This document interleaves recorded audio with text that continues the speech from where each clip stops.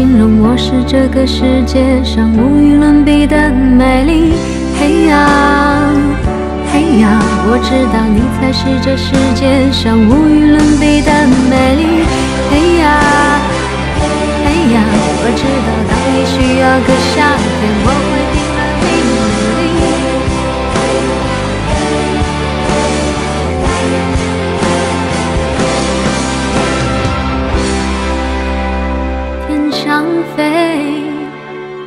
地上人儿在地上追，你若担心你不能飞，你有我的蝴蝶。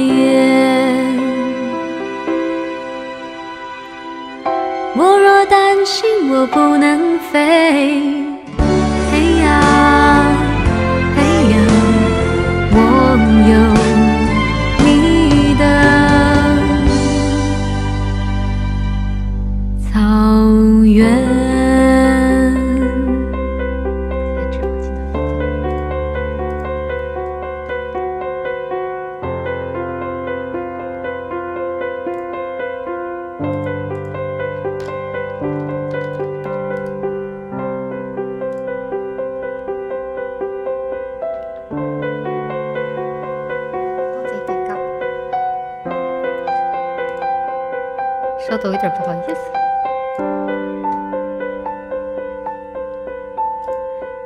是不是作为一个主播来说，脸皮太薄了？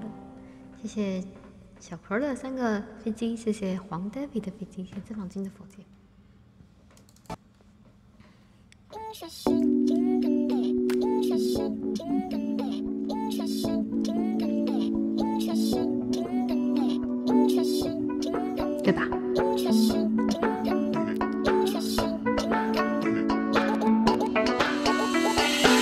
手中雕刻生花，刀锋千转蜿蜒成花。生命宫的他是巧凡某处人家，春风绕过发梢红纱，刺绣增大。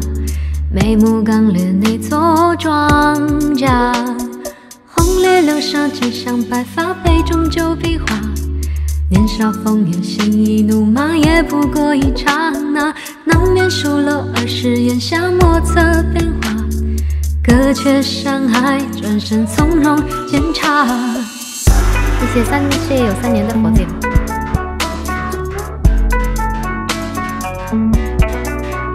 红昭愿。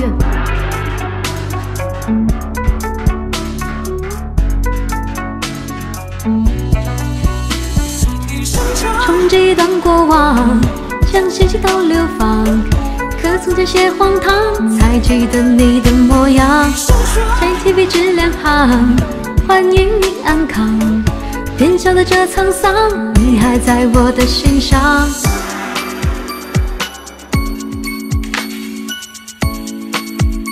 谢谢直播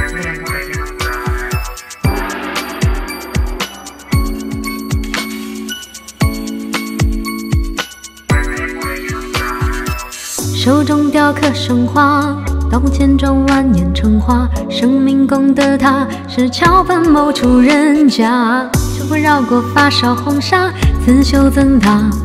眉目刚烈那座庄稼，红烈流沙枕上白发，杯中酒比划。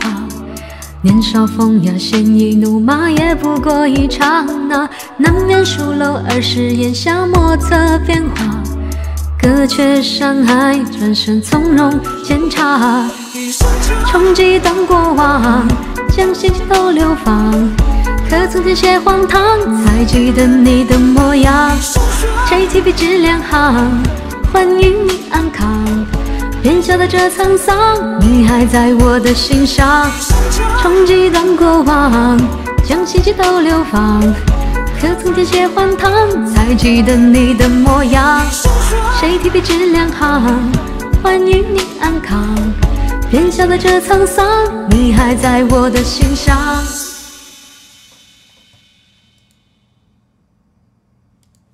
哎呀，这房间的两口剑，谢谢六七三千万春佑的飞机。哎呀，嗯嗯嗯，谢谢伟物的飞机，维吾是男孩子还是女孩子？谢海棠依旧的飞机，好像是女孩子。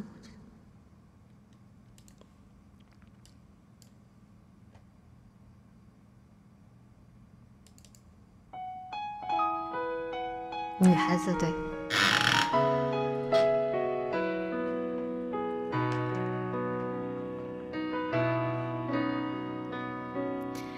这世界很复杂，混淆我想说的话。我不懂太复杂的玩法。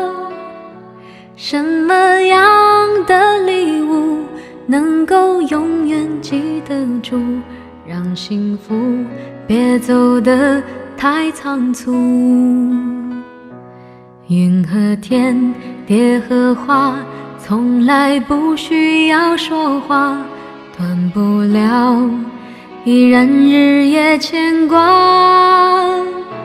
唱情歌，说情话，只想让你听清楚，我爱你是唯一。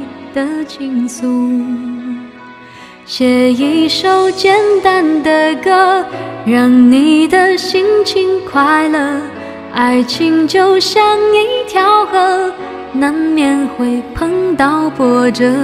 这一首简单的歌，并没有什么独特，好像我那么的平凡，却又深。刻。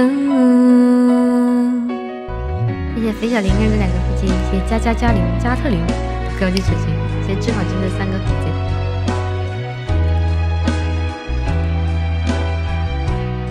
这首歌叫《一首简单的歌》。哎，光看我唱歌，是不是觉得我这个人很淑女，特别的大家闺秀？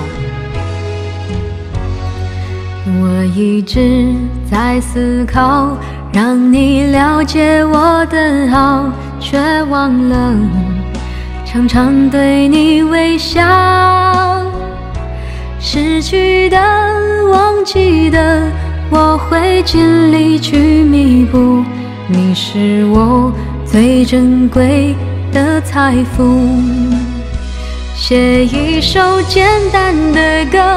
让你的心情快乐，爱情就像一条河，难免会碰到波折。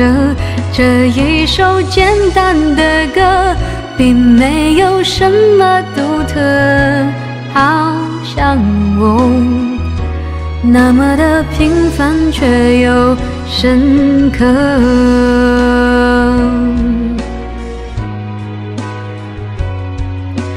简单的歌，简单的歌。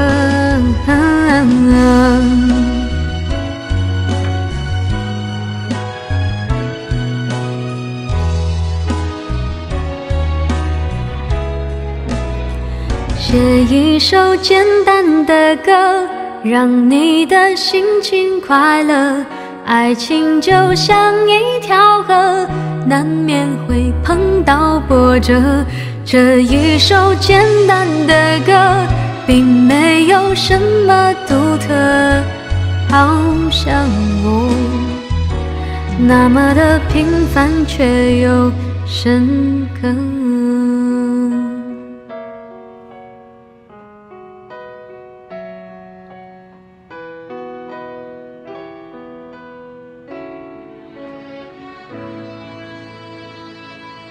脂肪真的有火箭，真的呀。其实我就是，可能就真的比较内向，然后就是在熟了之后，我才会话比较多。经常，经常有些，比方说，嗯，找我合作的那种厂商啊，或者说品牌啊，或者说节目啊，就会觉得啊，这我跟他说我很内向，他们觉得啊，很。发姐真会开玩笑呢。他说：“我看过你视频，你可别装了。”但是吃顿饭啊，或者喝个咖啡啊，就会觉得啊，原来是真的。谢谢月宫不会 CAD 的飞机。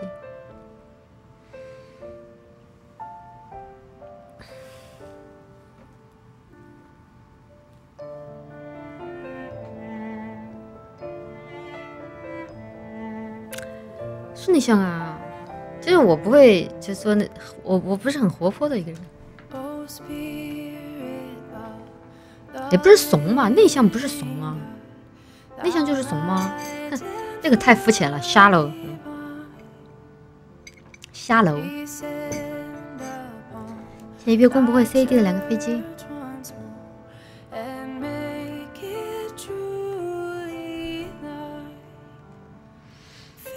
谢谢求奶我追不到女朋友的合集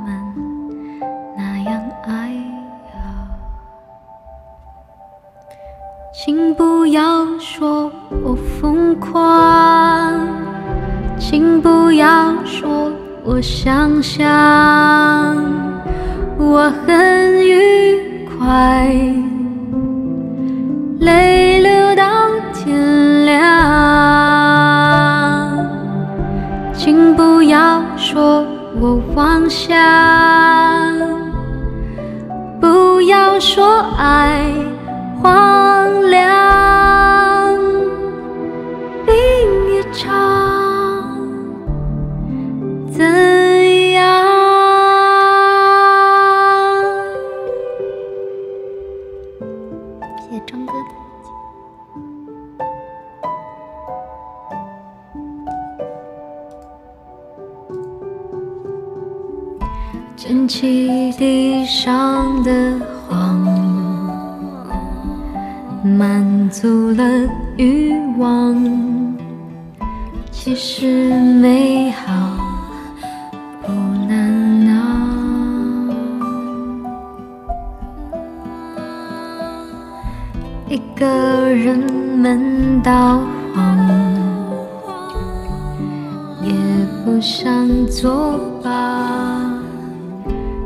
笑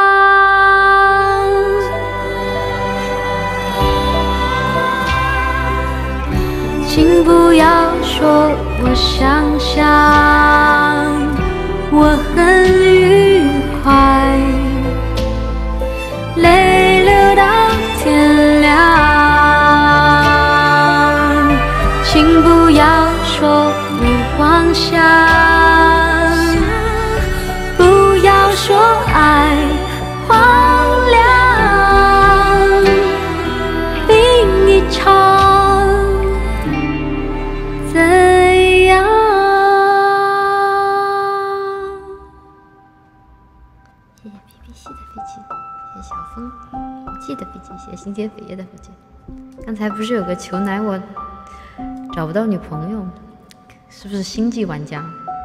我记得这种请求一般出现在黄旭东那边啊。姐姐我来听他的演唱会的三个笔记。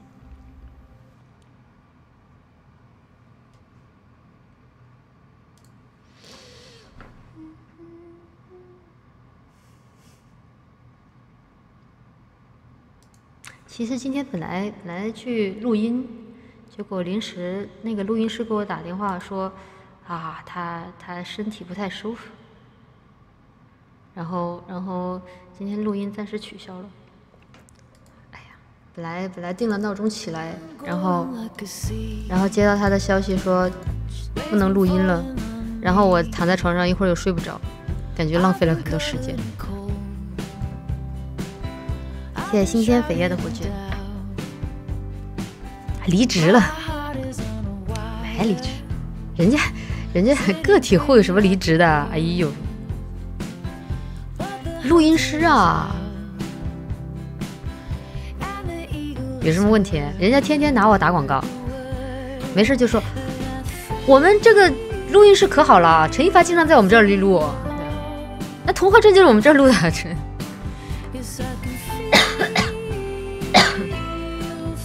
能倒闭吗？哼，我们这，我们就是那个特仑苏不一样的奶，都是正向的。录音师不一定是老板，是老板娘吧？可能。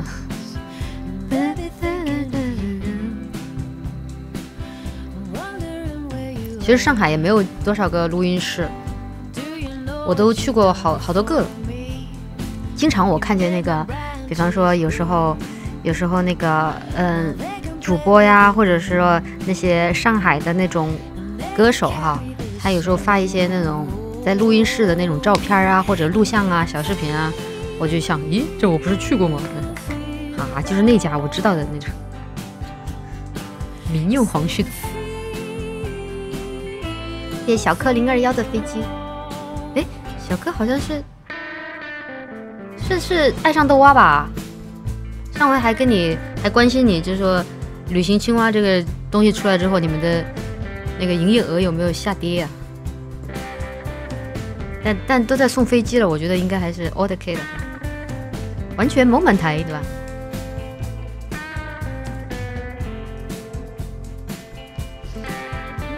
嗯，蛙总，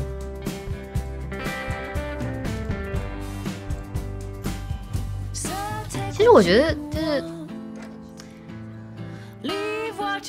如果人家是蛙总哈，他不能他的他不能是豆蛙呀，因为他们家是吃豆蛙的，就吃青蛙的，所以他不能是一个。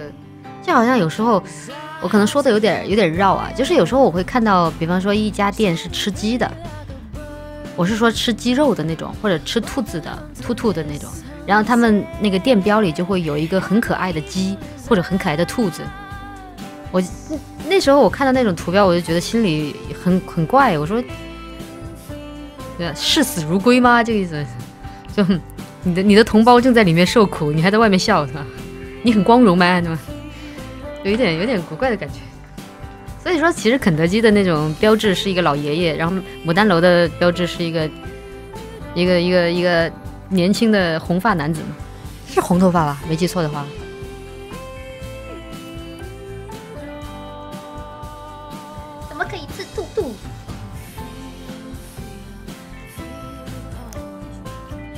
其实我觉得，应该就是大家关注到青蛙的话，还是还是对对餐厅有一个正面的宣传作用，真的。你可以就是外面写个横写个广告牌，说你们养的是青蛙，我们这儿是，我们这儿吃的是牛蛙，是你们的竞争对手，想要你们的蛙儿子过得更好吗？来吃牛蛙吧。哎，我好冷啊。唱歌，唱歌，唱。当我没说过。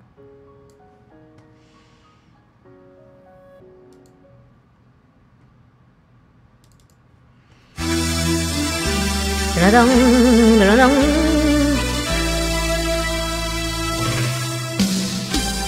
谢谢小柯的两个飞机，哦，三个飞机。上回他们在那个我们修仙部在你们那儿吃饭，到底给钱了没啊？应该给了吧，不然的话 就批评。你我皆凡人，生在人世间，终日奔波苦，一刻不得闲。既然不是仙，难免有杂念，道义放两旁，利字摆中间。多少男子汉，一怒为红颜；多少同林鸟，一成分飞燕。人生何其短，何必苦苦恋？爱人不见了，向谁去喊人？问你？何时曾看见这世界为了人们改变？有了梦寐以求的容颜，是否就算是拥有春天？这脂肪君的好多个火箭呢，还有小柯。哎，我是不是看着还蛮有线条的？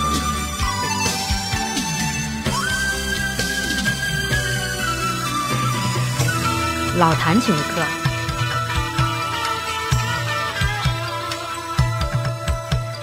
你我皆凡人，生在人世间，终日奔波苦，一刻不得闲。你既然不实现，难免有杂念。道义放两旁，把利字摆中间。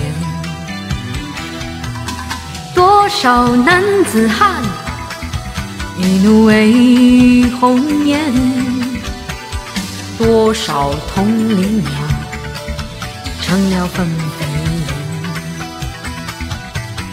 燕。人生何其短，何必苦苦恋？爱人不见了，向谁去喊冤？问你何时曾看见这世界为了人们改变？有了梦寐以求的容颜，是否就算是拥有春天？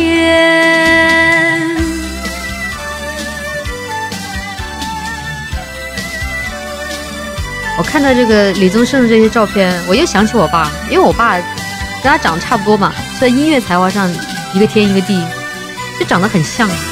这脂肪君的三个火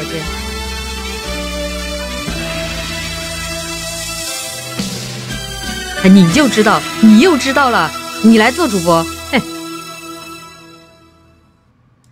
哎呀，今天我还给我爸打个电话。我本来很早就跟他说，他在上海有一个亲戚，是以前小时候小时候就关系挺好的。他小时候可能就青少年吧，也不是那种小学阶段。他他跟那边一直关系很好，但是两边就是自从可能这这十几年来就没怎么走动。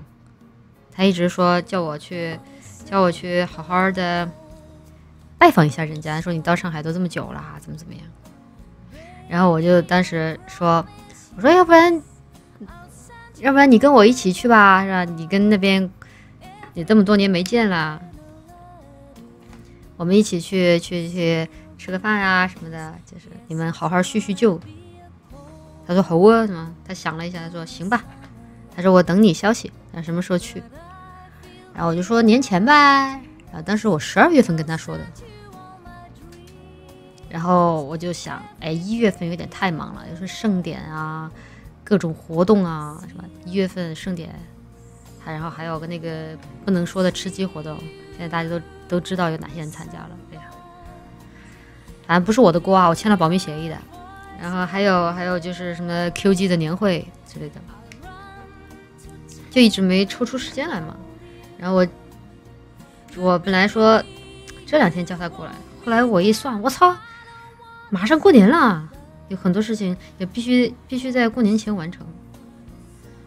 然后算了一下时间不够，我跟他我就给他打电话，我说：“哎呀，爸爸，我这几天可能可能就抽不出时间来陪你去了，要不我们拖到我们 不是拖到就也就改成年后吧。”然后我爸说：“好啊，没问题。”但我心里有点有点有点有点不好意思，愧疚。明明是我我叫人家过来的，人家等了我一个多月，结果我又跟人家说：“哎呀，不好意思，忙不过来，我们再再。”再年后有点不好意思，你陪外公去。鸡鸡，你年纪比我大多了，你都大学毕业了，我才二十一岁。是的，你去吧。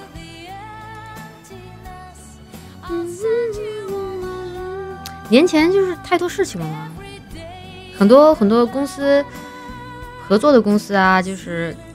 有些事情必须在春节以前完成，而且他们有时候放假还蛮早的，不像我，春节期间可能都要都，反正我们这种自由职业实际上就是不自由职业，说起来好像随时都可以放假，实际上就是随时都不能放假那种。但是人家人家我们还有很多合作公司嘛，他们有他们的那个安排，所以哎呀，今天还。今天给我爸打了电话，心里还有点，回去给他包个红包。谢谢鸡鸡的飞机。我那天那天参加年会的时候，我还问了小林，我说小林啊，你什么时候放假呀？他说哈，他说我们公司好像是按国家规定放假。他说我嘛，哎呀，我放假等于不放假，不放假等于放假。或许这就是老板吧。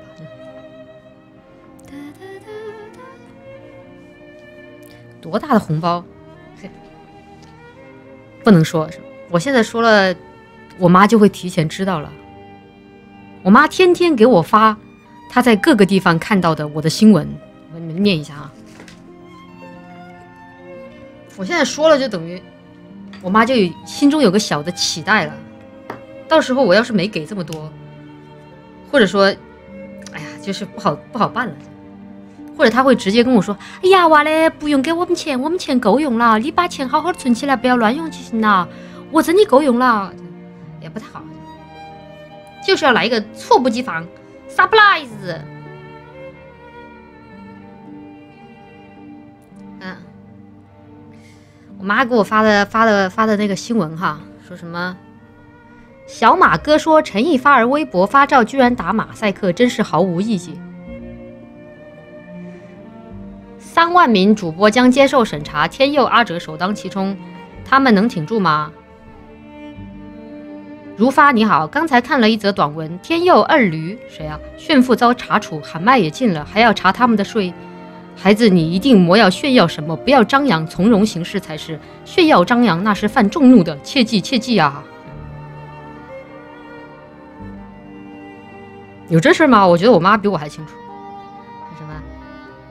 而且我妈就有时候把那种广告也当新闻看，她有时候不知道是广告嘛。陈一发第二波吃鸡造型曝光，官博良心点赞，邪魅一笑很灵性。哼，还有什么？呃，陈一发 cos 吃鸡枪手，英姿飒爽，令人惊艳。我妈觉得，哎，好开心哦！大家的那个媒体都在夸我，实际上是广告啊。呃，哼，没有办法。毕竟我妈还涉世未深，在网络这个是网络这个这个圈儿，她还是一个宝宝。还有什么？说啥？还还有些有些带节奏的，不敢不不敢念啊。嗯嗯，我爸也给我发，也也都是狂狂节奏狂动。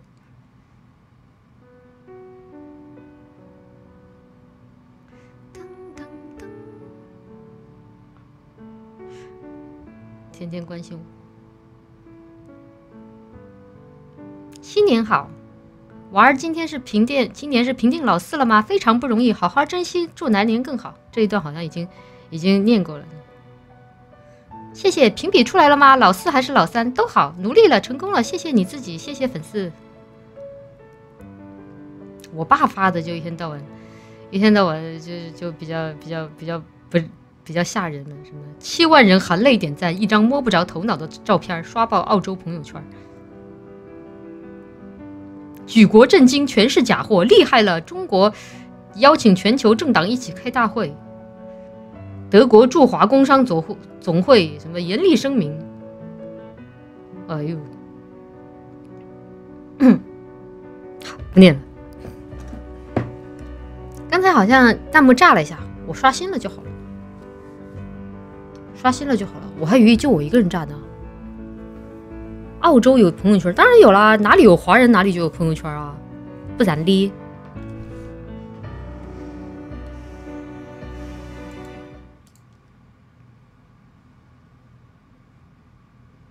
只要有华人的地方就有马化腾，也就有微信，就有朋友圈。如果你看不到别人的朋友圈，说明他把你屏蔽了，就是这样。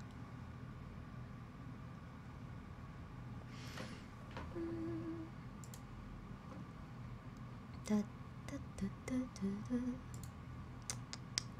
唱个啥呢？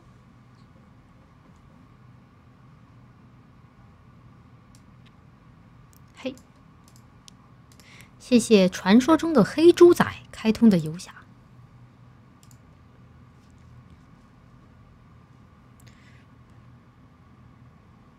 其实我会特别特别多的歌，我觉得你们也知道。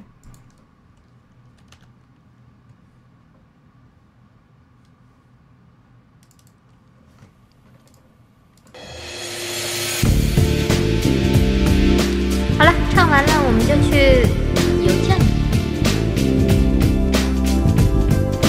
谢谢汪可优的飞机，谢谢三宝。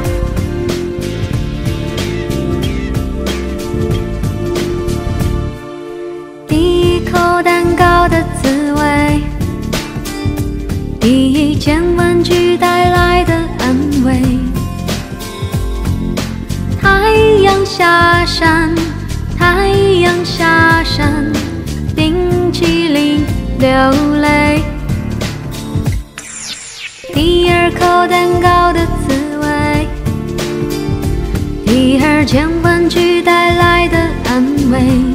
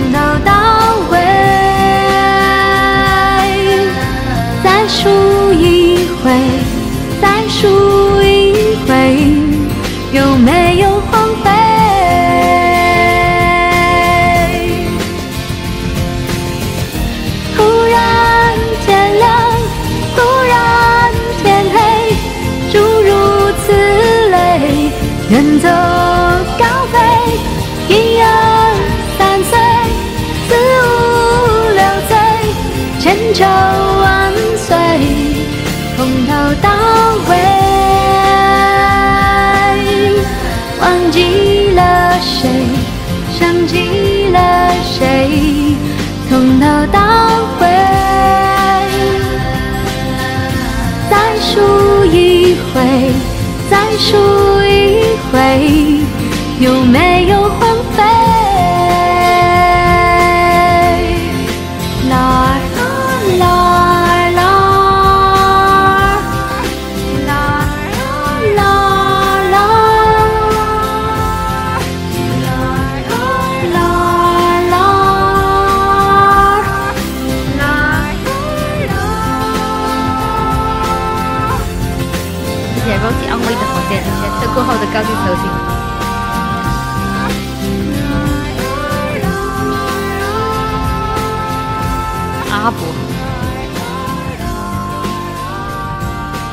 看到有弹幕叫人家阿伯，听上去像那个，像像台湾话阿伯阿公，怎么应该怎么说阿公？闽南语怎么？他们那边好像喜欢这么叫。谢谢吃高群众的高级出勤，谢谢 Rosy 安慰的火箭。好了，有见了，好准时啊！啊，基本算吧。嗯，按六七三七三的时间，现在还没有到十十点半呢，谢谢吃高群众，谢谢 Rosy 安慰。其实这件衣服侧面非常的宽，就正面看着很有曲线，应该啊，在侧面其实是这种。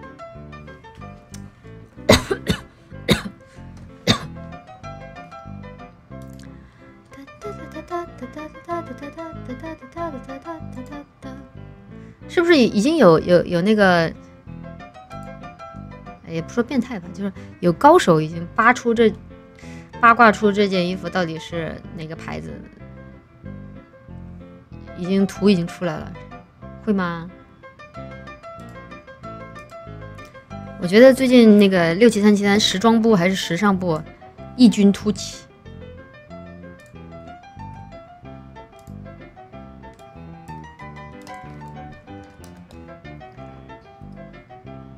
我转个圈儿啊！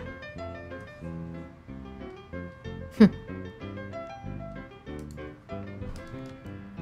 我不。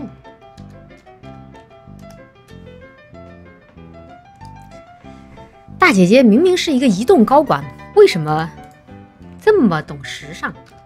可能是因为有钱吧。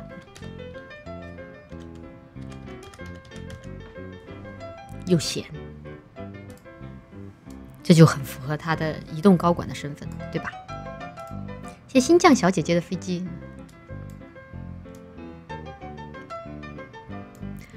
哒哒哒哒哒哒谢谢你瞅啥的五张卡。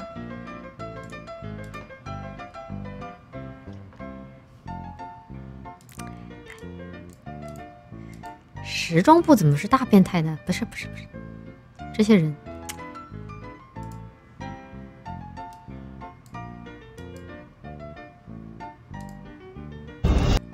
不小心点进了贪玩蓝月。稍等，我弄一下窗口哈。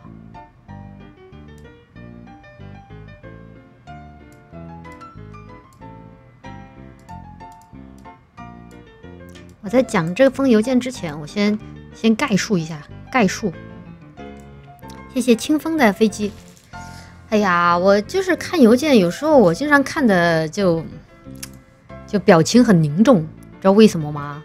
是因为有些孩子啊，我是叫他孩子，可能因为他就是真的心理年龄不太成熟吧，可能其实年纪挺大了，毕竟交了女朋友了。谢谢清风和阿多的飞机，谢谢 R C C 的超级佛剑。有些孩子呢，就是说话感觉很没有条理。我之前收到一个人发的 N 封邮件，然后每封邮件大概他发了十来封邮件，这只是我看到的啊，可能埋在后面的还有十几二十封。那他每封邮件呢都告诉我，他说发姐，求求你去看一下微博私信吧。他说我我把话都在里面讲清楚了。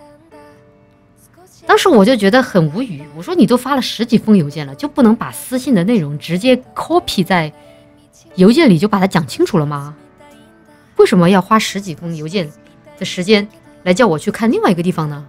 我的私信浩如烟海，看到了就看到了，看不到了其实很难翻的。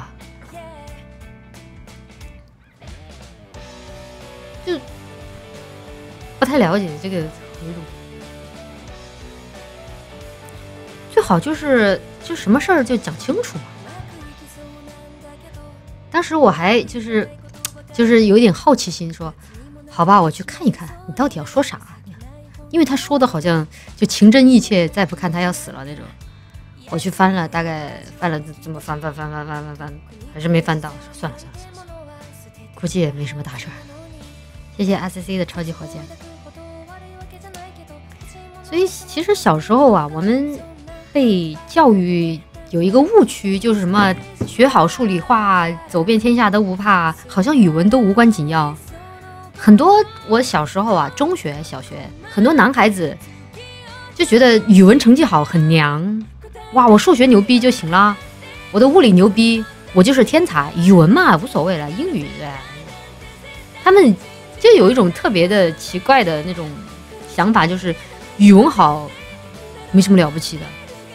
语文好就，就语文好不好不重要，数学好才牛逼，物理好牛逼，语文好那是女孩子，女孩子语文都好那种，而且而且怎么说呢？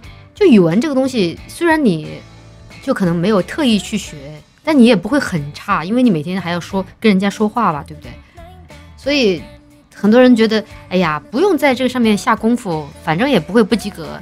顶多人家考九十分，我考六十五分，就这样，这导致很多小伙子的叙事能力极差，极差，极差，经常看完一整篇不知道他要说啥。还有经常就是那种标题党，说发发求求你救救我吧，我在线等，什么我今晚上看不到你的回复我就要死了。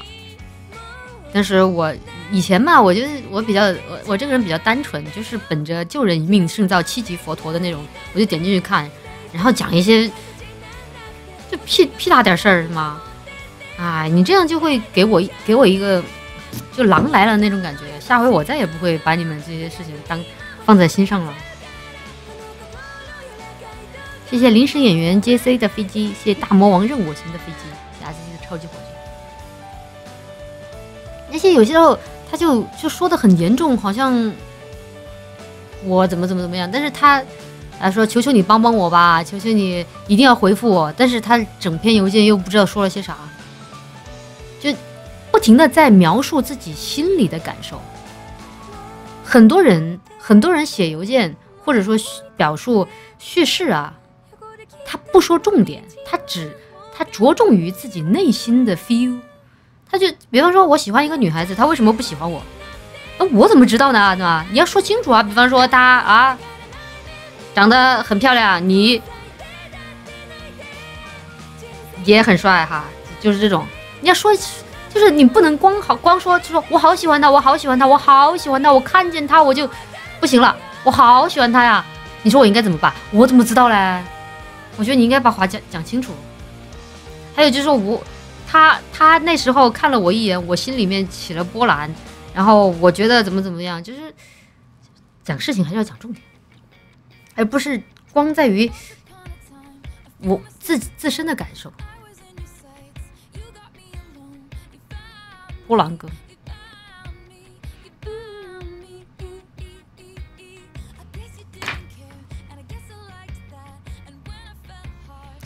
哎呀。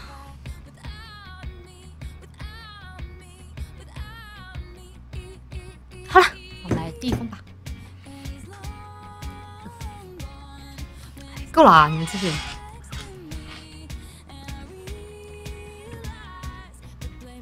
好了，来。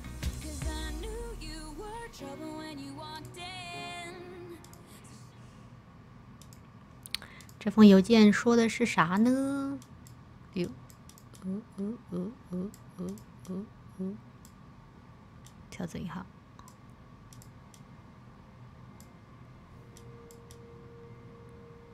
OK，和室友的关系出了问题。发姐，我最近和室友有了矛盾，求指点。我们宿舍是两个人间，哇，好高级哦！宿舍楼有门禁，想起我中学的时候是十人间，而且还是两室一厅，which means 我们有二十个人住在住在一个套房里面。他说我们宿舍是两人间。宿舍楼有门禁，只要有人帮你开门，任何人都可以进。哦，这样看来也不是很高级。我现在是研一，室友是博士，高级知识分子啊！室友三天两头带着他女朋友来宿舍，可以接受。经常在宿舍一起吃饭，这个也还 OK。但是不能忍的时候，不能忍的是他们有时候还在宿舍一起睡午觉，甚至有那么三四次，当着我的面竟然也能睡得下去。当然仅限午觉，而且也没有十八禁的画面。作为单身狗，我不是看不惯他们秀恩爱，真的吗？而是他们过分的行为已经直接影响了我的生活。跟他相处快一学期了，想提意见却不好意思说。有时候我跟老同学吐槽这些事，经常管他们叫奸夫淫妇。哦，这个，哎，你们文化人确实的词汇量比较丰富。他们一直不知道，直到三天前，跟同学打电话的时候开了外放，朋友同学说了一句：“你们宿舍的奸夫淫妇在不在？”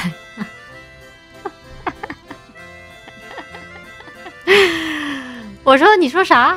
同学说：“你不就是这么叫的吗？”被那位老哥听到了，当时他女朋友不在，呃，当时什么也没说，然后两天没搭理我。你就不能起个隐晦一点的、隐晦一点的外号吗？哎呀，真的是，哎呀，这一段让我想起了以前一个同事，姓李，现在已经不是同事了。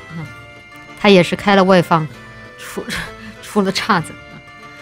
你作为一个斗鱼水友，还是应该吸取教训啊。昨晚他们俩找我谈了谈，我全程都在认怂，也道了歉。他们语气也比较平和。他说他没想到我会说出这样的话，本来以为我这个人挺好的，现在已经对我失去信任了，再建立起信任就很难了，以后两人相处就会有隔阂，很尴尬了。然后提出了调宿舍。今天上午问了宿管，跟宿管说的理由是作息时间不合，我睡得晚，结果宿管不答应，只是跟我说了几句“年轻人不要老熬夜”之类的话。昨天他已经把话说死了，说的一点回旋的余地都没有。现在是真的相当尴尬了，两个人之间已经无话可说了。如果不换宿舍的话，两个人还要继续相处一年半的时间，这样下去我们俩都不好过。不是你们仨吗？这个问题我跟几个朋友讨论过，他们一致认为带女朋友在宿舍睡睡觉有些过分了。我也是这么认为的。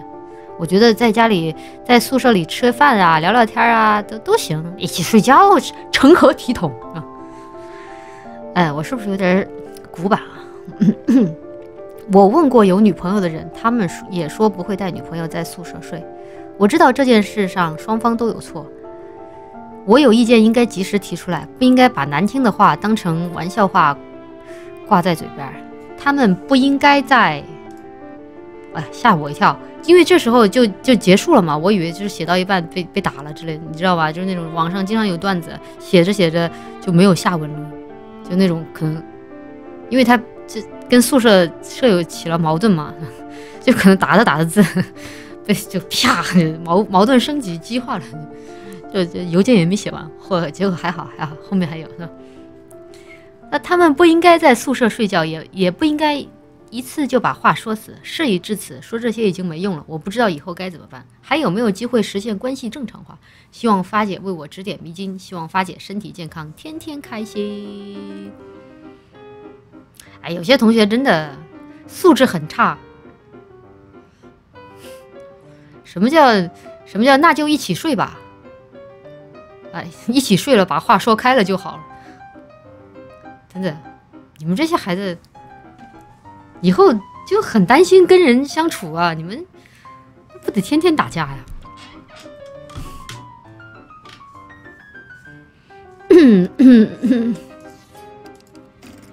我们这个事情就这封邮件说的问题确实很棘手哈。本来他是他是那个受委屈的那一方，他是吃亏的那一方，但是呢，好死不死，他给人家起外号被知道了，哎，就本来占理的，现在不占理了，铿锵三人行。哎呀，真的人真的。就是越是没有什么经验的人，就越喜欢脑洞大开。其实啊，哈，我觉得他背后说这些，就是他是，因为我觉得首先我们要明确一点，我认为这个他的室友把女朋友带回来睡觉这个事儿啊，是非常不妥当的。不管你睡不是睡的午觉还是晚觉，不管你是。怎么睡的？我觉得都不妥当。你们啊，就在宿舍里吃吃饭、聊聊天可以啦，就舍不得那点钱出去吗？我觉得没有必要。我觉得带女朋友回来睡、回来回来睡觉是很不妥当的，这个是他理亏的。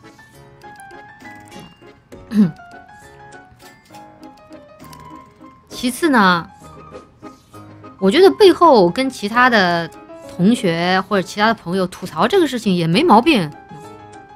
但是关键在于他犯的错就是给人家起了一个不符合事实的玩笑，不不不符合事实的外号，什么玩笑？说错了，就是也而且也太难听了，对吧？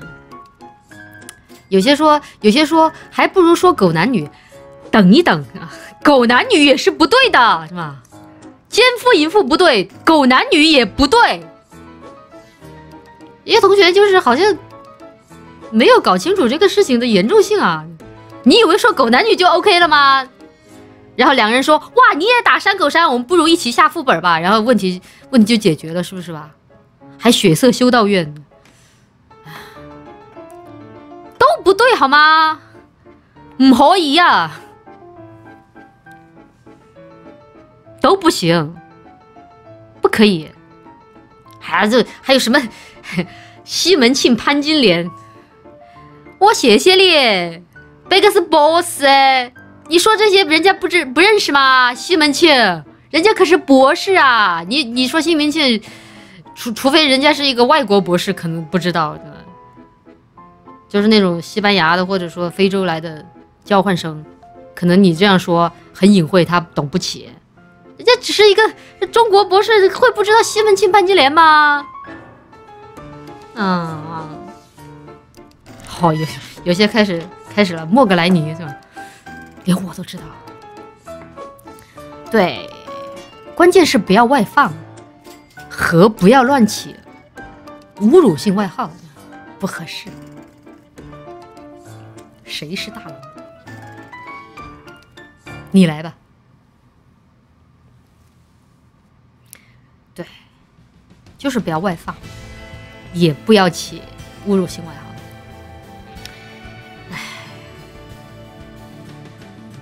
怎么说呢？我觉得事已至此，就大家各走各的路吧。也就是也不一定非要成为一生的好兄弟啊。你好好的跟人家道个歉啊，然后并且表示说，我觉得你这样很不妥当，但是我确实不应该。叫你奸夫淫妇，我决定，你要不就搬出去就完了呗，换宿舍嘛就好，又不是非要跟人家朝夕相处，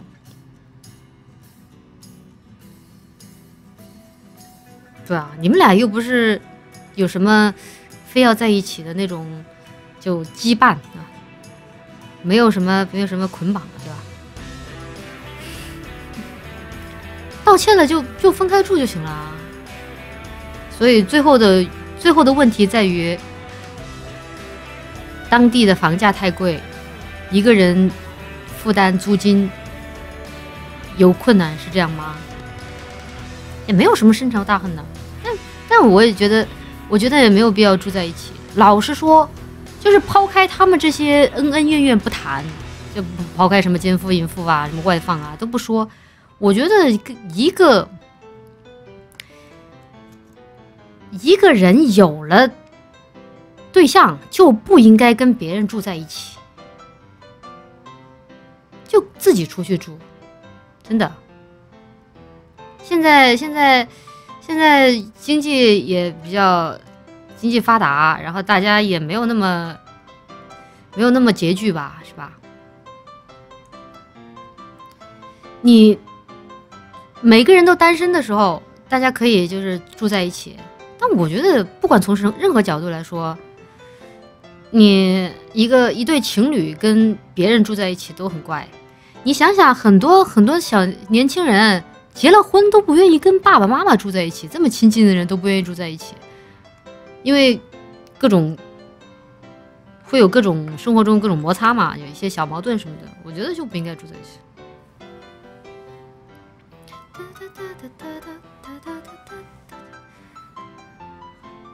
你想想，有很多种很多种不方便的地方。第一，一对小情侣感情太好了，给室友造成很多伤害。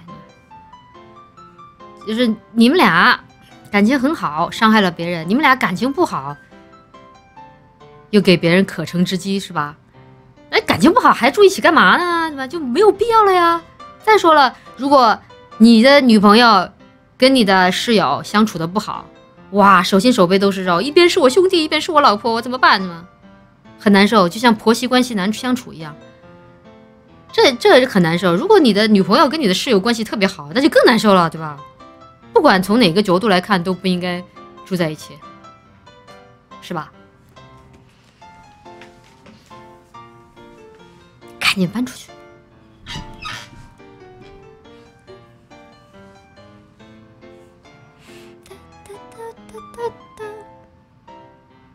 哎，没错，下毒啊！你是 F D 吗？谢谢大魔王骑单车的飞机。三个人怎么一块儿愉愉快的玩耍呀？斗地主吗？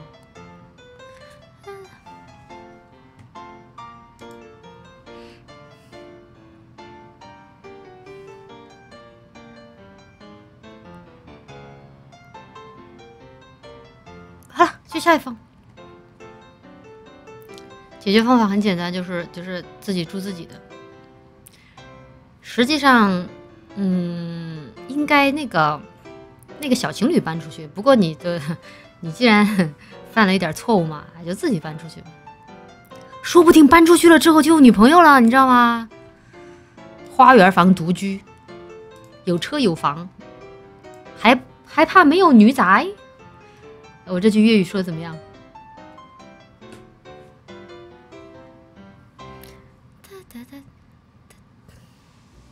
是是，广东是不是这么说的呀？嗯，标准的啊。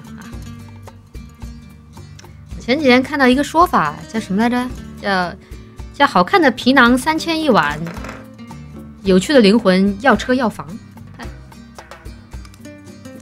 你既然搬出去了，有房了嘛，起码也算是踏出了第一步吧。不叫女宅啊，那叫什么？靓女吗？靓女吗？唔系啊，唔系啊，那那应该怎么做？靓仔、靓女？哎，粤语好难哦，门槛很高，不友善。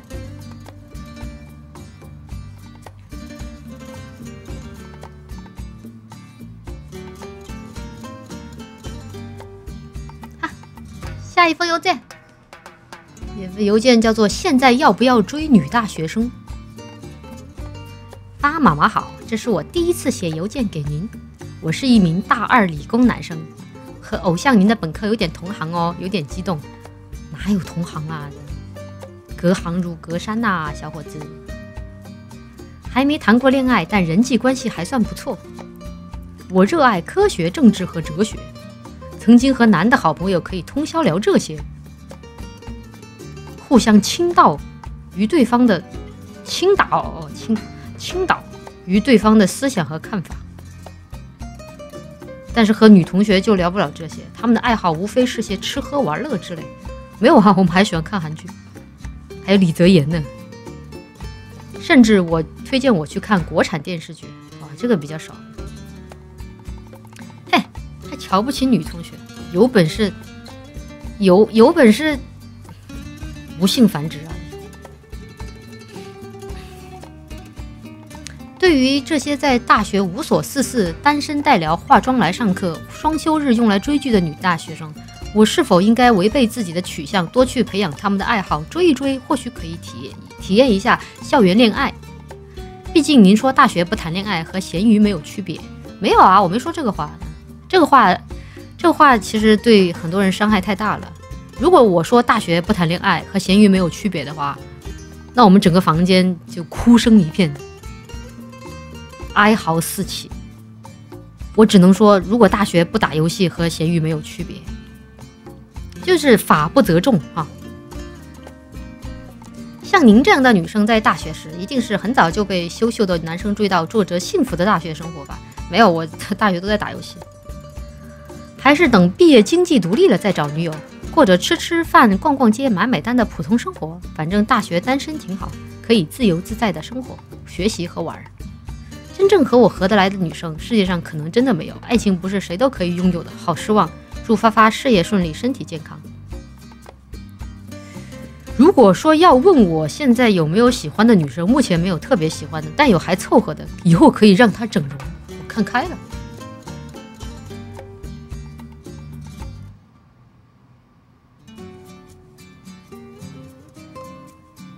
好。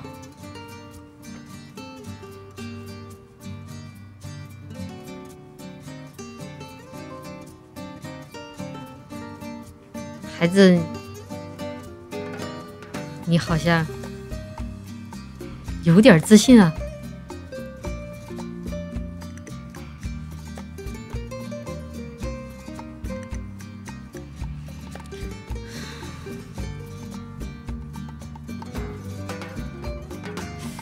话怎么说来着？叫什么？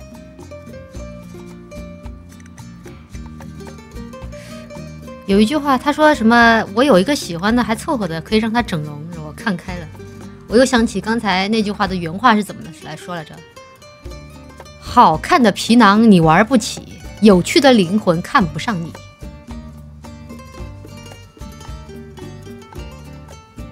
好像是这么说的，是吧？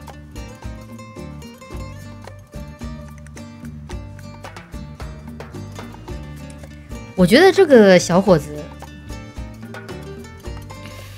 第一没谈过恋爱，第二都跟男的男性朋友通宵聊哲学、科学和政治，互相都倾倒了。我觉得要不然啊，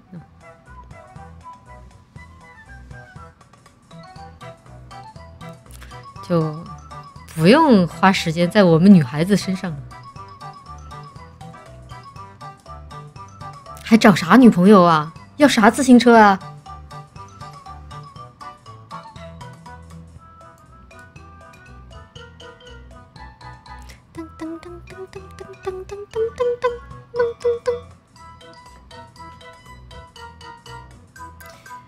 其实怎么说呢？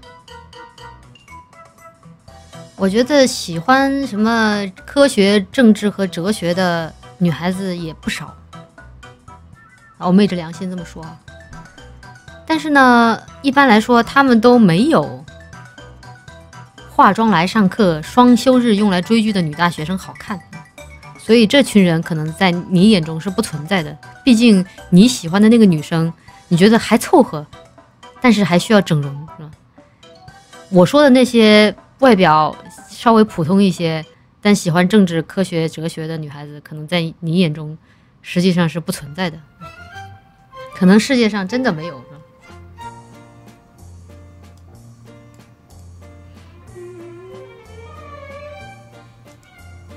又有学识，又长得好看，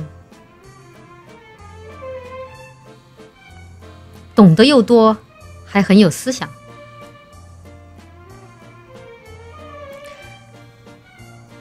一般来说，是吧？跟你们这样的男大学生是没什么 关系的。你们估计接触不到。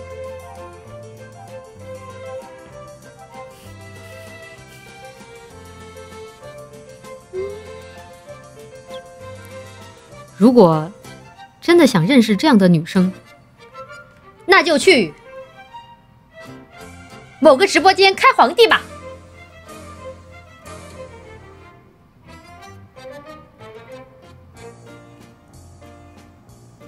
这样就走走出了人际关系的第一步。来，大声说出那个房间的房间号。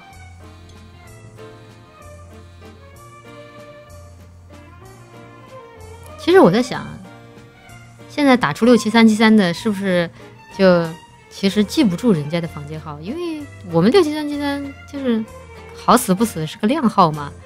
那边虽然很喜欢，但是那个号码不太好记，是这个原因吗？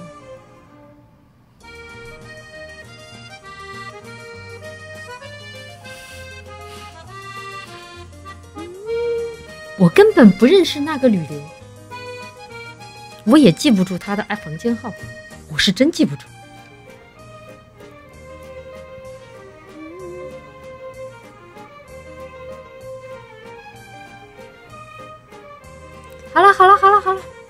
我知道了。其实我觉得这这封邮件看下来，有一句话是还是非常有道理的，就是这一句：爱情不是谁都可以拥有的。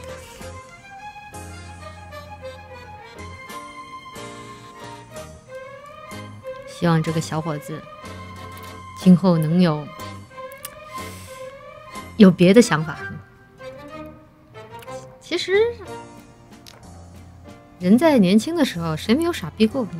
觉得自己不可一世，觉得自己牛逼，又帅，懂得又多，智商又高。虽然，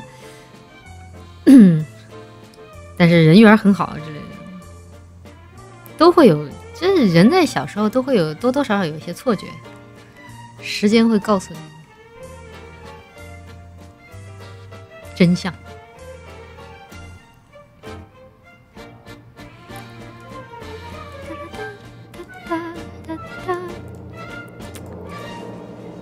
你想什么？你想对方什么都好，又好看，又懂得多。你知道为什么现在现在社会哈，结婚呐越来越少？然后人，年轻人结婚初婚的年纪越来越大，然后对象越来越难找，有很大一部分原因就是自我认识啊。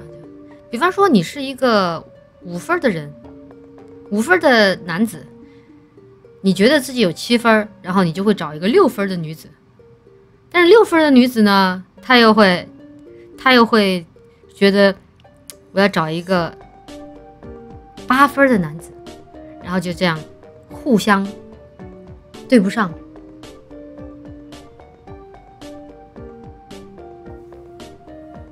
大家都结不成婚。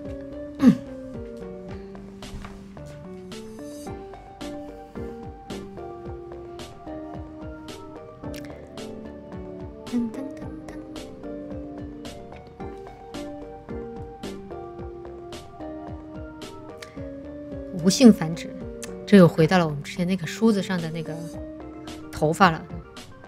保留自己的头发，以后有诸多用处。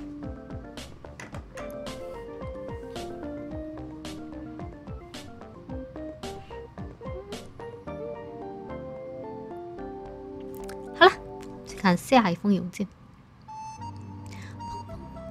人类怎么会灭绝呢？还有。有些民族就特别爱生孩子。这段 B 掉。给发发 Remember Me 幼稚伴奏 and and 自制 MV。之前听发姐唱过这首歌，但伴奏有点简陋。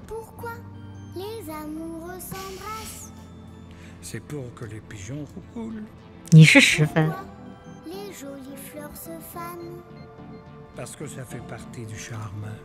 其实我觉得哈，你们平时。能够接触到最有思想的女孩子，难道不是每天下午和晚上开播的豆迷的豆米 斗鱼知名主机区主播吗？顺便打个广告，欢迎关注陈一发儿新浪微博，你会在那里发现一个具有思想，还经常有美丽自拍的女主播。谢谢丢你一片二向箔的卡，逗你。好，这封邮件是一个伴奏和自制 MV，谢谢 RCC 的超级发件。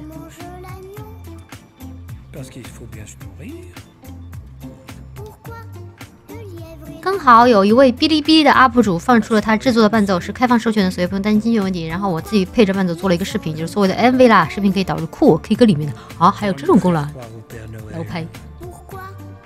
同时也把伴奏的 key 调到了发姐适合发姐唱的高度。因为制作伴奏的 UP 主是男性，《寻梦环游记》这部电影我超喜欢，豆瓣上面九点二分，可能可能低了，现在低一些，九点一吧。歌也很好听。如果发发以后还唱 Remember Me 的话，希望这个伴奏能够对发发有些用处。同时附上纯音频伴奏，祝好，from 发奖大的大笨蛋。咦，这不是我们的一个女水友吗？我来看看她的她的 MV，先下载，要出现熟悉的声音。每次你们听到这个声音就很激动。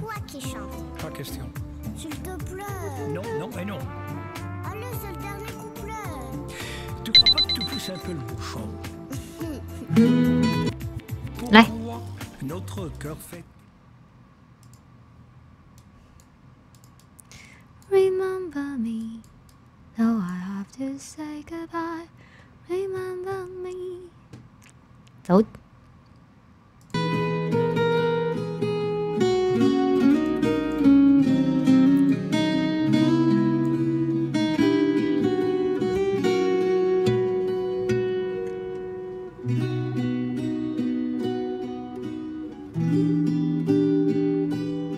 这个这个女孩子，呃，不是女孩子，这个这个这个老太太应该叫 Coco 吧？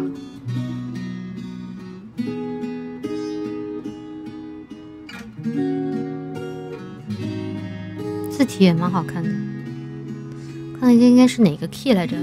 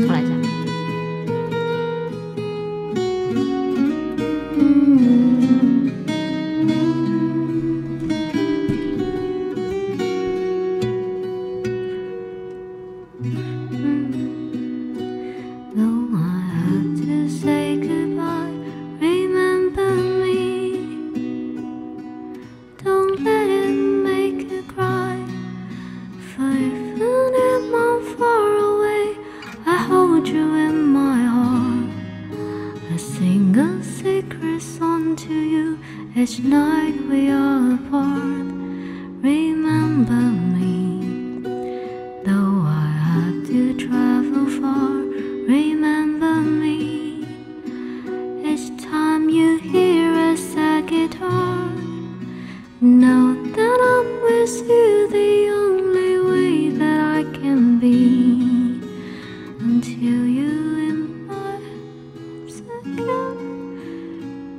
我以前唱那个版本不一样，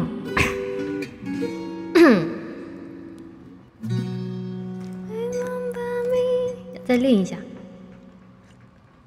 谢谢 RCC 的超级火箭，谢谢谢谢谢谢十二的飞机，谢谢机房的机房的火箭，啊不对，小壳的火箭。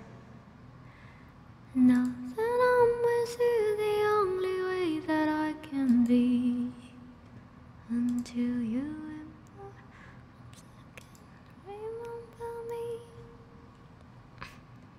谢谢发奖大大笨蛋制作的 MV，挺好看的，那个字体很好看。我是不是着眼点很奇怪？谢谢谢谢小柯儿，谢谢林学长。看看下一封邮件。亲爱的发发，前几日得知朋友生活中困扰。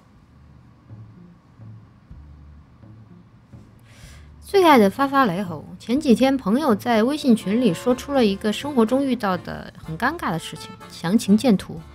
我一时无法帮他理清思路，不长时间后，他打来电话，详细描述了事情的经过。他工作的中的同事，两人关系也比较亲密。嗯嗯嗯，虽然不知道发生了什么情况，但是我的这个朋友打开了他同事的云盘，发现里面一个巨大的文件夹全是 gay 片儿。还有一位一些中年大叔 S Y 的小视频，嘿，我突然突然出现同事的名字。据他听说，据他所说，他当时就懵了，也可能是打开了通往新世纪的大门而兴奋不已吧。他说，这个同事结婚几年没有孩子，不久前还离婚了。他发现这些小秘密以后，心情很复杂。不知道如何面对现实生活中低头不见抬头见的工作伙伴，我一时也想不出解决方法。推荐他给机智的发发发发发发邮件求助，或者干脆融入那个圈子。这篇邮件希望发发可以给他指一条明路。希望发发永远年轻美丽，发家致富，主播阿普阿普。哎，这个都要借一步说话吗？刚才是谁要借一步说话？房管记一下这个名字。这这，这是这是这是我们六七三千的基佬部吗？刚才是谁要借一步说话？嗯？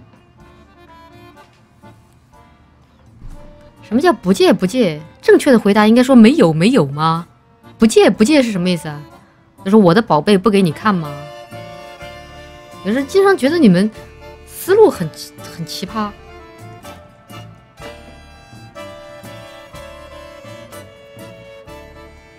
没有啊，巧妇难为无米之炊，没有怎么借，不借。那怎么才肯借嘛？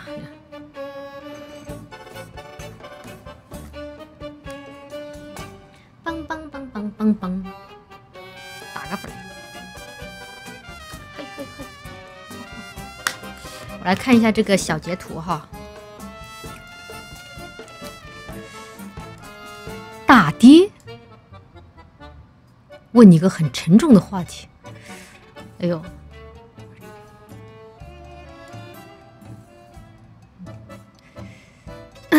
你看过 gay 片吗？我在我同事网盘里发现好多的 gay 片，这不正常吧？男的、女的，男的，完了，恭喜你，不知道该咋面对。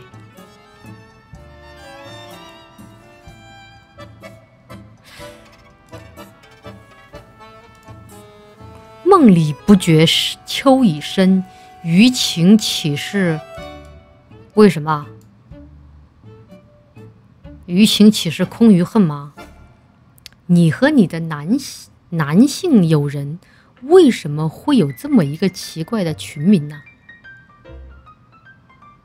我见过的那种男性微信群的名字，都是些什么傻逼呀，什么？废物啊！这种，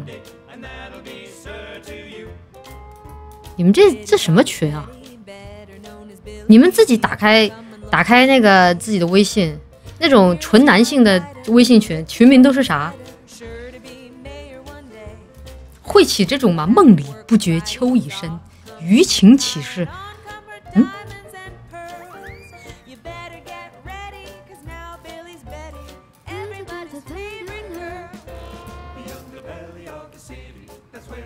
余情岂是为他人？真的吗？我来搜一搜哈。嘿呀，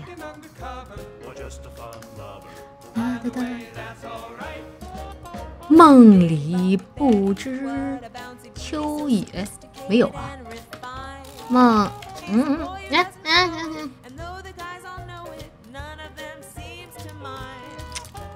来，操作不行。梦里不知秋已深，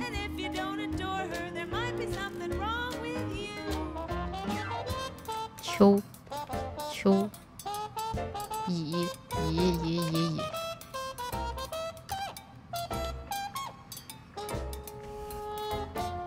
梦里不知不觉秋已深，余情岂是为他人？什么意思？梦里不觉已到深秋，我今生剩下的感情都专注于你，不不为他人分心。哦，打错了，不觉。这是表白呀！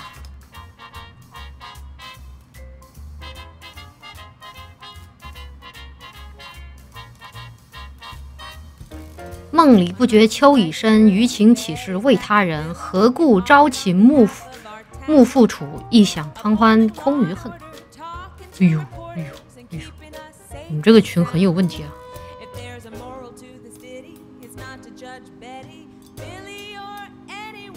我在想啊，他说他在同事网盘里发现了好多 gay 片儿。是真的吗？三个人群怎么了？这斗地主吗？就是